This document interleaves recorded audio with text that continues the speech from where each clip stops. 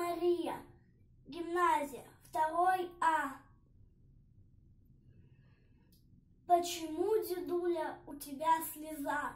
Наталья Майданик. Почему, дедуля, у тебя слеза? Почему, дедуля, прячешь ты глаза? Кто тебя обидел? Можешь рассказать? За тебя я буду драться, воевать. Внучек ты мой милый, нет, не плачу я, просто вспоминаю о былых боях.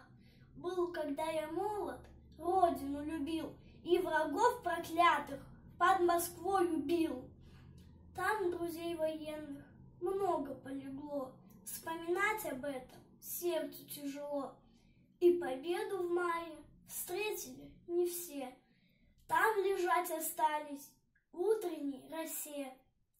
Так живи, мой внучек, и войны не знай. Каждый год с победой пусть приходит май. Улыбайся солнцу, весело играй. Но что было с нами, ты не забывай.